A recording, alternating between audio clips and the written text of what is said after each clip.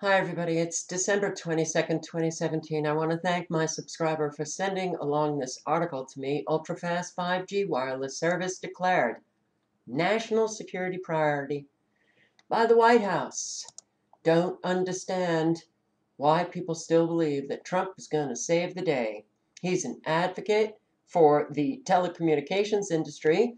He's advocating for a very secure but fast deployment of 5G, and he is pro geoengineering. So when you look at hmm, the saturation of microwave frequencies, the deployment of 5G, these millimeter wave frequencies, and geoengineering, the chemtrail spraying, those two alone, very successful in killing off life. So, what is this guy going to be saving? Not us. So, the White House released its congressionally mandated National Security Strategy Report, which you can get to by clicking on this link.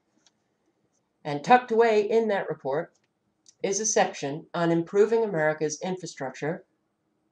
We will improve America's digital infrastructure by deploying a secure 5G internet capability nationwide.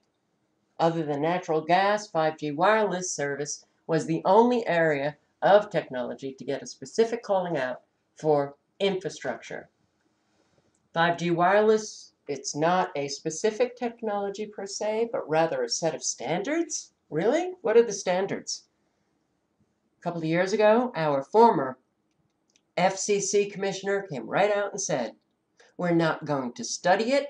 We're not going to regulate it. We're just going to roll it out because there's billions of dollars involved. Billions of dollars. Not going to study it? Well, I have several videos on 5G. Not going to get into it. If you want to check them out, go to my channel, hit the search icon, put in 5G, and they will come up. This is not for faster service. Please, this technology interoperates in the millimeter wave spectrum. To meet the needs of users today, who are those users? Whose needs are going to be met? Our military, our government.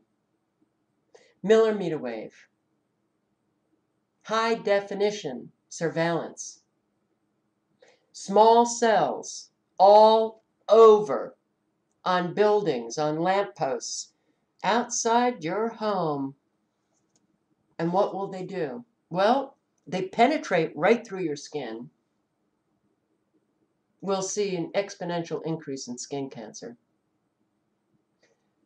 But everything you have in your home, everything you have on your person, everything that you're carrying in a bag, briefcase, pocketbook, the millimeter wave will pick up. And if you are concealed carrying a gun, even if it's plastic, millimeter wave will pick it up. So you're walking down the street, concealed carry, millimeter wave picks it up, boom, that data goes right to a fusion center you're a suspect. And suddenly, the police come and grab you? Is that really an unlikely scenario? No, it's not. But for all of us who, who are hypersensitive to the frequencies already, I think we're just going to be keeling over once it's fully deployed and up and running. All of you who are asymptomatic guarantee that many of you will cross over into symptomatic. More and more people will come down with cancer. More and more people will struggle with a whole range of medical issues, chronic physical pain. That has already happened with the microwave frequencies. So that's what we have to look forward to. It's a national security priority. Do you know about this guy, John Trump? Many of you probably do. I will tell you, I only recently found out about John Trump, Donald's uncle. He was a brilliant MIT scientist who was at MIT for decades. He designed one of the first million volt X ray generators. He developed radar equipment during World War II. And after the war, well, during the war, during World War II, Trump served as a member of the steering committee overseeing the United States government research laboratory, the Radiation Laboratory, which was located on the MIT campus, uh, Division 14 of the National Defense Research Committee. And this laboratory was responsible for research and production of radar systems. Now, he also worked with the British branch of the Radiation Laboratory. And an article that I read a couple of weeks ago, well, that's a branch that needs some research. I think that they were doing some shady things during World War II.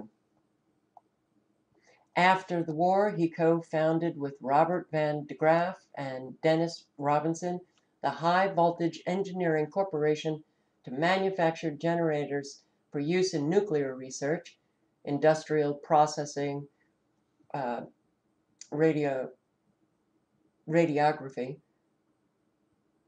and medicine. He directed the High Voltage Research Laboratory on the MIT campus from 1946 to 1980. That is a very long tenure. He, Donald Trump's uncle, he was the guy that inspected Nikola Tesla's papers. After the inventor's death? No, after the inventor's murder.